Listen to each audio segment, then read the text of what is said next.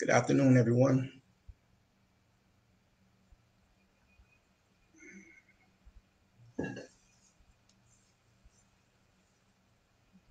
Good afternoon, everyone. This is Robert T. Green. I'm the CEO of Pre-Post Game, also known as a Players Rep here to educate, and empower, protect the athletes and the family's best interests alone. Coming to you today on Sunday, June the 14th. Hope everyone is well.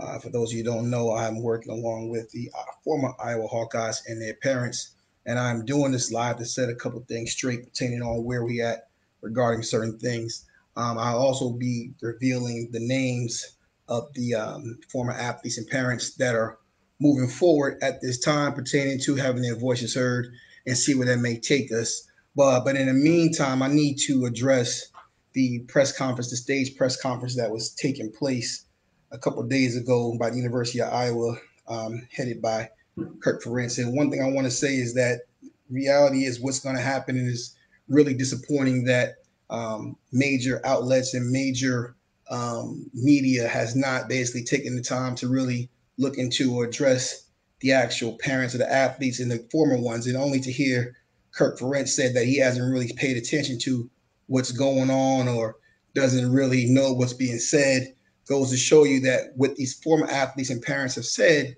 is that the things that happened to them as an African American athlete was not something that University of Iowa and the football program seemed to care about at the least. So we're going to break down exactly a few things to help you understand how this actually worked. One, um, the fact that Brian Ferentz and Chris Doyle wasn't there standing at the press conference to speak on behalf of the actual allegations that we know to be factual that happened to these student athletes is egregious at best. We also find that the actual media that was there um, did not address certain questions when Kirk Ferentz mentioned terms as blind spot. What does that actual blind spot mean?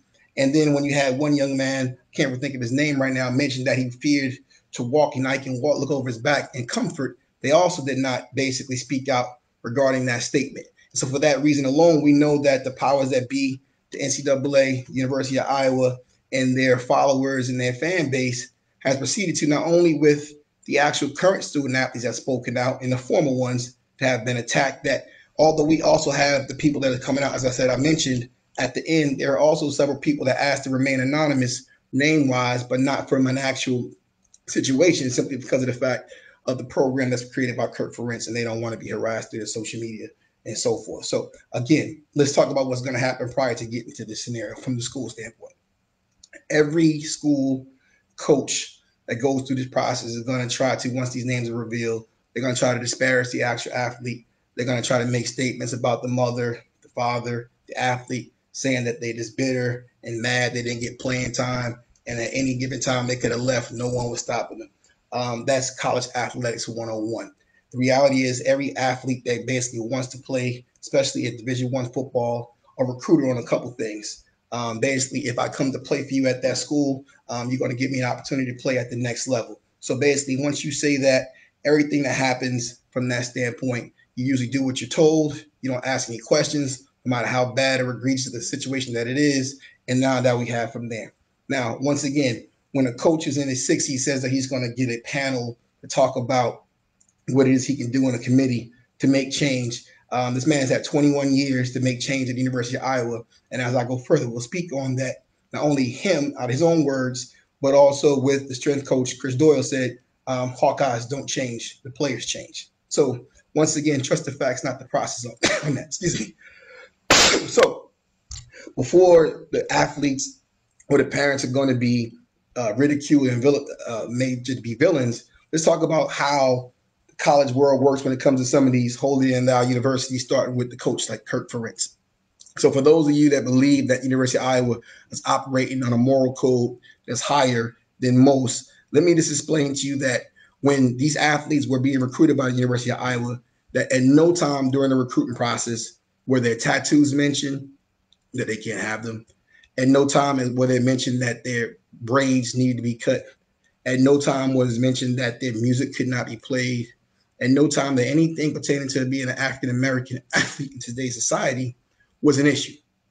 So, with that being said, the majority of athletes that we have spoken to and will continue to speak to pertaining to their recruiting status, which again, no one wants to go up there and ask the questions to Mr. Ferentz at the University of Iowa how that these actual African American athletes come to choose University of Iowa. So let me give you a little insight. So when you're talking about before Kirk Ferentz or their fan base start to disparage these athletes and these families, some of the things that these parents were not aware of during these recruitment process that involve drugs, sex, and alcohol. So for any um, major program in particular, athlete that knows these things, when you go to a campus and your parents aren't around, a couple things is going to happen when you go, especially if they want you to come there. The whole process will tell you what you want to hear, not what you need to know. I mentioned earlier nothing about the hair, the music, the braids, nothing. Um, so for that reason, that excuse me, for that reason, that all these things that happen when you have recruits that's actually out there trying to persuade you to come to their school, what are they actually using in terms of what's to draw you to the actual University of Iowa? Well, I just mentioned again, drugs, sex, and alcohol. So when these recruits are given money by coaches to take these kids out to have a good time, these 16, 17, 18 year old athletes, and basically when you say to have a good time, don't know exactly what that means. Again, you go from that whole process starting on Friday, get there on Saturday, then usually what happens is that the school either do a few things. The ones that really want, they'll invite you to the house specifically. They'll send the rest of the kids to breakfast individually.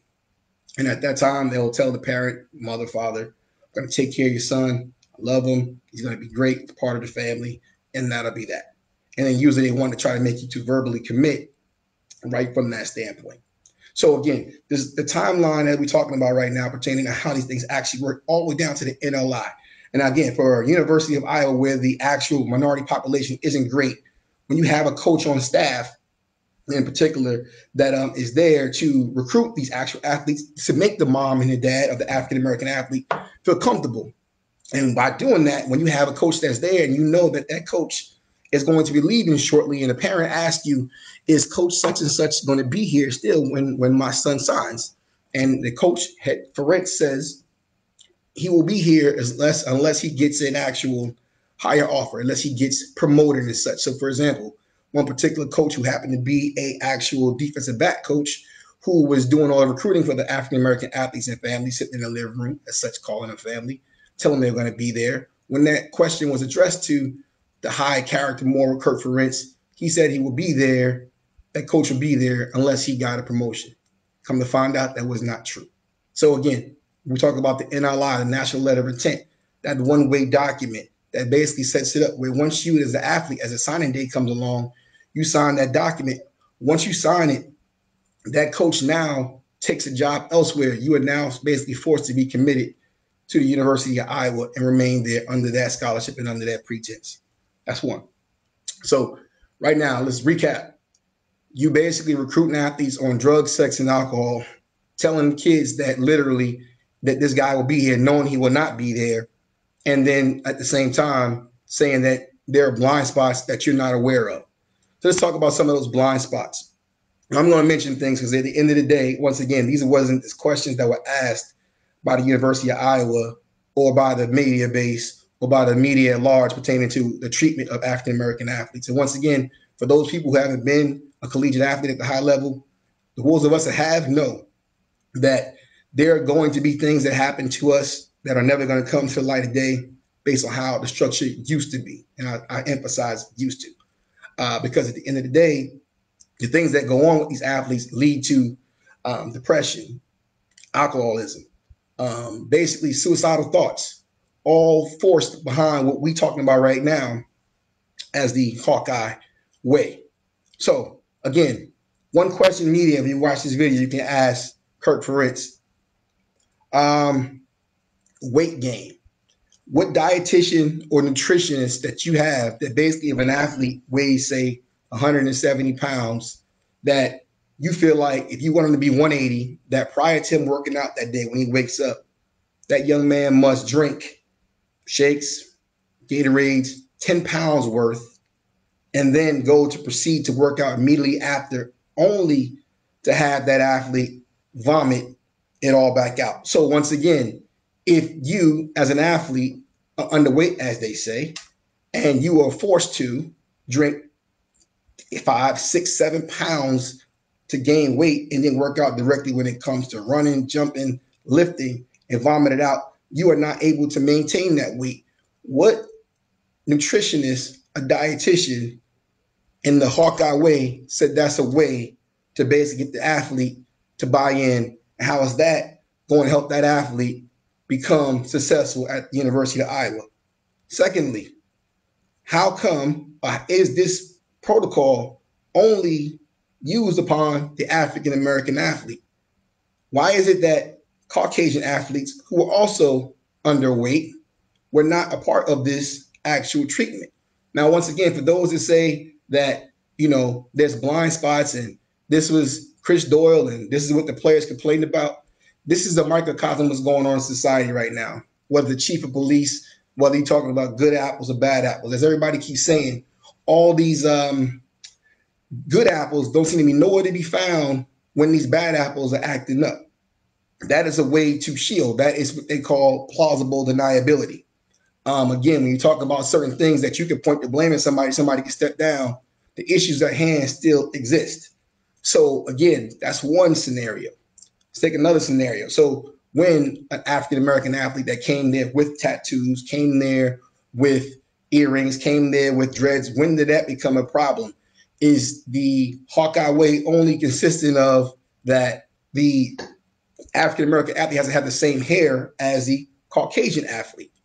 What is that protocol? What does that make the Hawkeye way so great?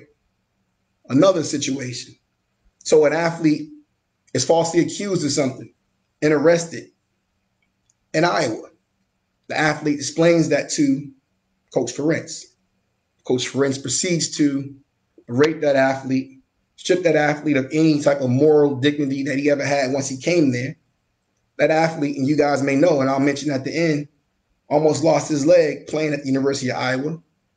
And at the end of the day, when he basically explained to Coach Ferentz what was going on, he was so mentally and emotionally distraught that he actually had to bring his parent in to speak to him regarding those things. As time passed during his career at Iowa, everything between the entire coaching staff changed could not walk around campus without being belittled by the entire coaching staff. And to the sense when it came to game days, because he's no longer viable to the to, to the program because he got injured, and we talking about the next man up under the Hawkeye way. Where does it say in your scholarship that that young man, that young African American man, because I'm kind of curious and want to know, where does it say that the black athlete must go in the basement and fold 700 t-shirts and cannot leave until he do so?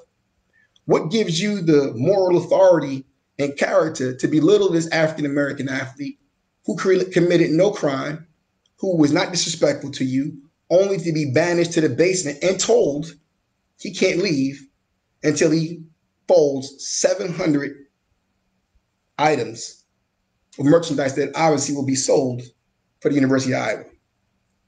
Has any other Caucasian athlete been banished to the basement to fold 700 items each game, not being able to watch, participate, interact, or have proper relationship building with his current student athletes and friends that he went there with.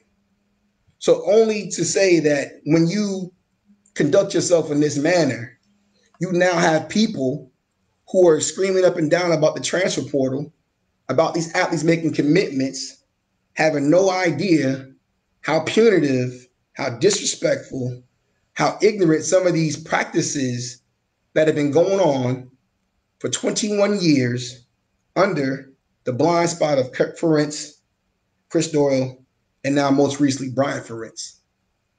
The fact that Brian Ferentz in your press conference and Chris Doyle wasn't there, but three African American, well, two African American athletes, one kicker who was Caucasian, to speak on things, but those same athletes can't speak on if they should be able to voice themselves or voice their opinion on Twitter or social media. That you, after 21 years in a blind spot, now says that's okay. You might think that because that kid was in a basement and being berated and called all types of names, is why you didn't want these athletes to be speaking out publicly. For athletes that basically are basically, like I said, could barely stand and walk, that Joe was more concerned about what your image looked like more than their uh, well-being, health, and safety. Trust the facts, not the process. The fact that I am not a reporter and I'm literally, literally giving you the answers to the test to the media is these things is why that we are going to be moving forward to find out how much more of the Hawkeye way under Chris Doyle, Brian Ferentz, and Kirk Ferentz has done substantial damage to these athletes mentally, emotionally, socially.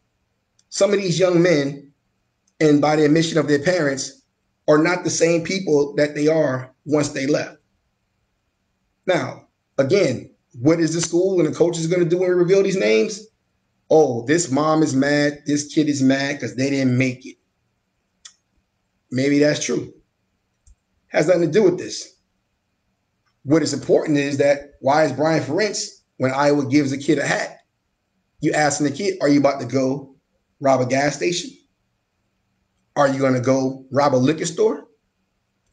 If this young man was told these things and made him feel less than, only to have his playing time reduced and cut, where the blood, sweat, and tears that he left on the field for the University of Iowa, as Kirk Ferentz makes $4.5 million a year, is not able to mentally or physically be capable of performing the way he needs to. Because again, he also, as an African American athlete, was forced to drink these shakes at a certain amount of weight and time and then had to vomit it out. It's kind of hard to perform when your body's going through that type of trauma.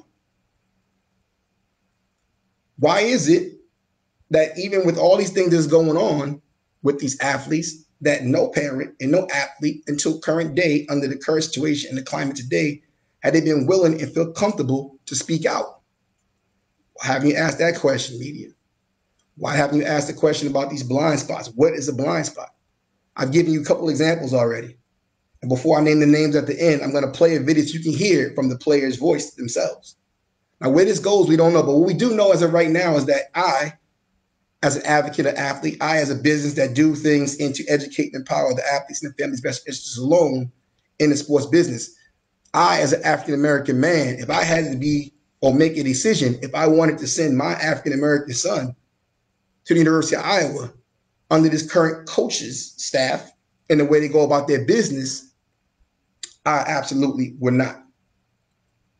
When Kirk Ferentz says he was not aware, and as we go forward, when a parent asks about their son's relationship, about what's going on at the school, only to have Chris Doyle first tell the kid that it's the Hawkeye way or no way. We have never changed for a player and we never will. Has that statement ever been made to a Caucasian player? Curious to know. That's a good question. The same parent told by Kirk Ferentz, per Chris Doyle, per Chris Doyle, that this is the Hawkeye way. We would never change per player. So the argument that Kirk Ferentz, after 21 years, is not aware of what's going on at University of Iowa, and to tell the world that he only found out and knew once these players, current informer spoke up about this. If the NCAA and if the powers that be in the media and, the, and, and, and all these coaches want to sit there and continue to lie through their teeth and think that these parents' voices will not be heard, this is how this business works. So this is for you athletes and parents, current, future, and former. Knowledge is power. And for that reason alone, if there wasn't any African American athletes as no different than what Roger Goodell said in the National Football League, which is only 1,400. There will be no NFL. There will be no ESPN. There will be no NFL Network, no NFL Live, so forth. But for the 500,000 student athletes, as a Department of Education, if you will, refuses to have these parents or, or these coaches have to be responsible for telling the world that their student athletes were sexually abused and that reason is because all these things that's been going on has always been kept in the dark and come to the light after the fact. Because the athlete and the parent never felt like they had a voice to be able to articulate, put things in perspective, and to be able to move things in a way where those same coaches that came in your living room told you that they love you and your family are the same ones kicking your back and talking about you behind your back. They're the same ones that's giving you misdiagnoses about your injuries and then basically have you go to the NFL as damaged goods basically disregarding the fact what happened at that actual university. We know this. We have the records. University of Iowa, Kirk Ferentz, are you aware about players having surgeries without parents knowing that they're having surgeries based off players not getting proper or second second um, opinions based on the surgeries that they got, unaware they really were injured in the first place. What's your protocol for that? Is that only for African American athletes, or that go across the board with Caucasian athletes as well? These are the questions that if the ESPN or the media of the world do not want to ask, there are some people out there, and we'll find out how this goes because there are more people and more situations and more stories that will come out. But we do know that there are several athletes, despite whether they're in the National Football League or they back doing whatever, they are extremely scarred by their time at Iowa, playing under Kirk Ferentz, Chris Doyle, Brian Ferentz, and the fact that this man, when asked the question, did he apologize? Said he don't think he apologized, but really don't feel like he need to. What's wrong with this actual industry today? As I said, 1,400 athletes in the NFL, African American, 500,000 student athletes that literally these coaches are willing to volunteer, majority African American athletes to go out during a bad pandemic and risk their, their lives and their future so this coach can be compensated. Now, with that being said, I'm going to read the names currently, and then I'm going to play a video for you all to hear from the voice of one of these names. And as I said before, uh, we have others, and I'm going to tell you how we're going to proceed going forward in that scenario. So, the first athlete that is going to be on this list and, and parent, Reggie Spearman, Spearman and Belinda Spearman. We have Maurice Fleming Jr. and Rochelle Harper, mother. We have Malik Rucker and Charles Rucker, dad. We have Akrum, Wadley, Akrum Wadley and Sharonda Phelps' mom. We have Marcellus, Marcel Joly. There are others that wanted to speak out and will continue to speak out as we move forward, but in fear of the media and the fans at the University of Iowa attacking their student athletes based on after what they saw when Kirk Ferentz took out or brought out three student athletes, they thought that was something that they did not want to subject themselves to or their stu- former student athletes to at Iowa. So once again, we will still be moving forward on their statements and based off of that, but their names and further names may come out at a later date. For those that already spoken out, that we will be reaching out to further to speak out or speak with Emmanuel Rugamba, James Daniels, currently of the Chicago Bears, Terrence Pryor, Toren Young, Amani Hooker, Jaleel Don- Johnson, Deontay Morrow, Christian Kirksey, and Matt Hankins. Now, again, that's what we're doing now.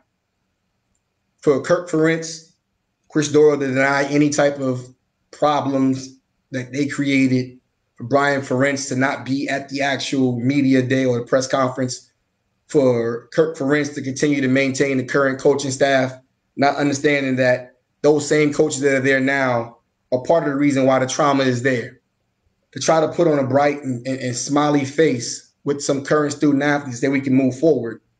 It is amazing to me that these same universities, these same uh, NCAA, which they are protected by, can literally say these players know how to speak for themselves and understand what racism and races look like, but don't understand that their same parents who don't have any money, that if they got something for somebody would be an impermissible benefit, would not know what they to do with it. So you got to pick and choose. So at the end of the day, I'm going to play a video now of the words of Reggie Spearman, former University of Iowa Hawkeye, and how he felt about his time at Iowa.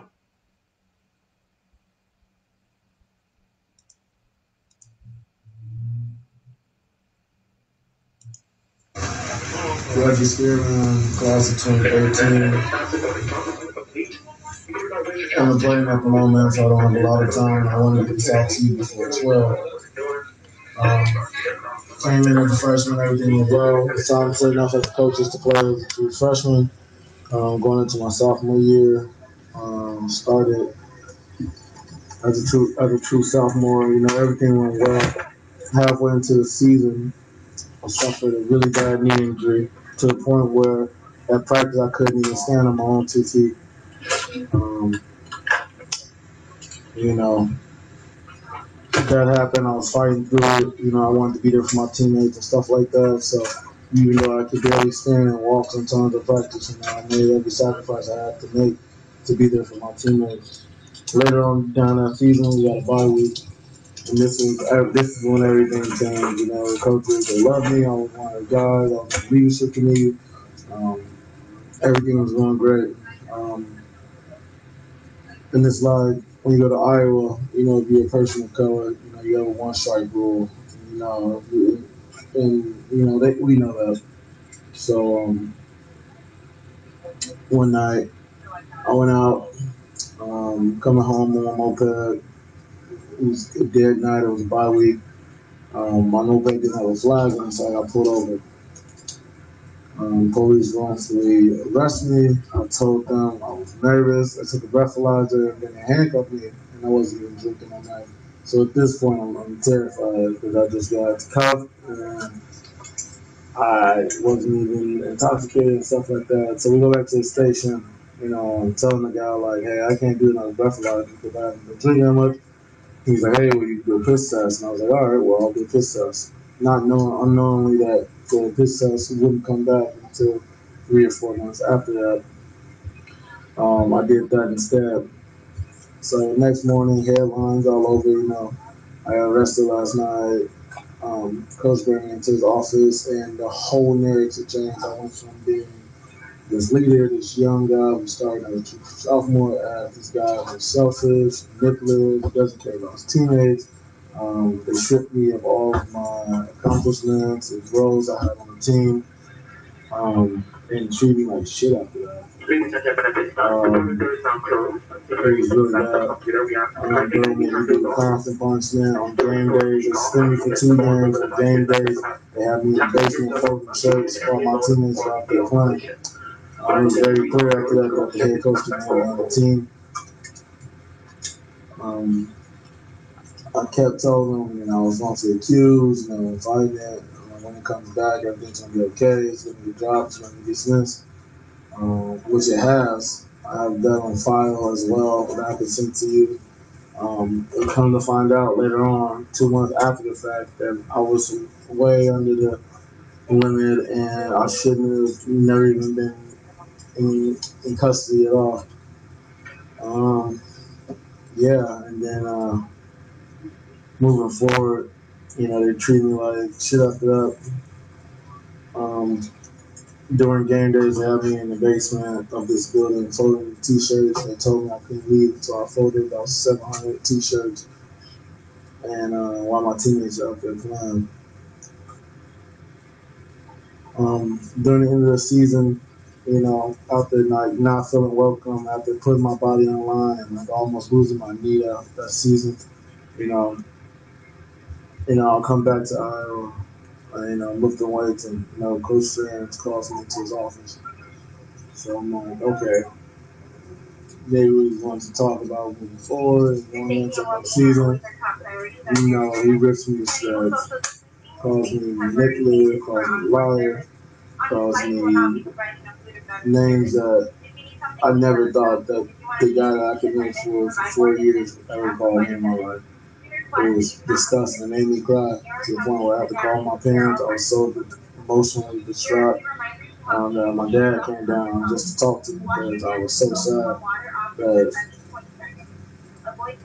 this program that I just gave my all to that I almost lost my legs for basically didn't even want me anymore.